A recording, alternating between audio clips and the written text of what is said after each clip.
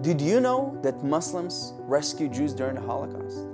Today we mark the International Holocaust Remembrance Day.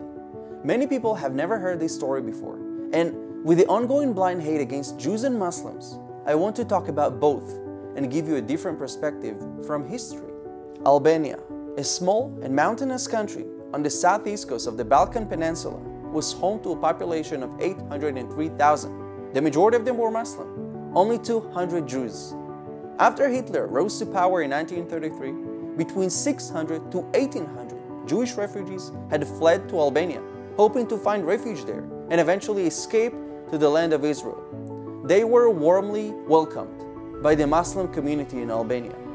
In 1943, Nazi Germany occupied Albania and demanded to turn over to them lists of Jews residing within the country so that they could deport them to concentration camp and eventually exterminate them.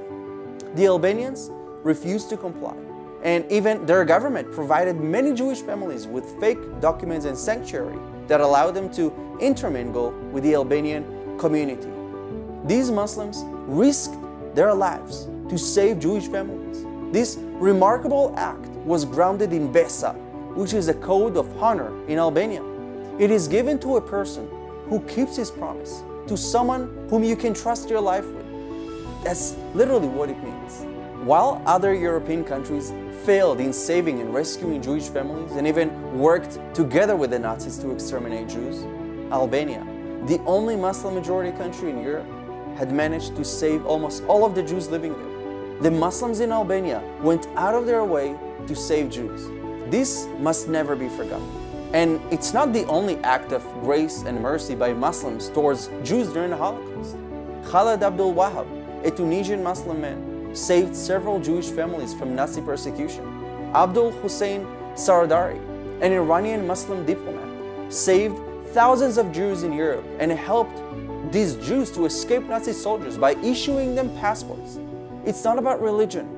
It's not about where you come from. It's about humanity. These Muslims could not stand idly by the ongoing extermination and massacre of Jews. They didn't see Jews, they saw people, humans, just like them. We, the Jewish people, will never forget how they saved our families, our people. On this important day, I call you to stand united against blind hate, against anti Semitism. We must remember the past in order to build a better future. Never again is our responsibility. Remember that.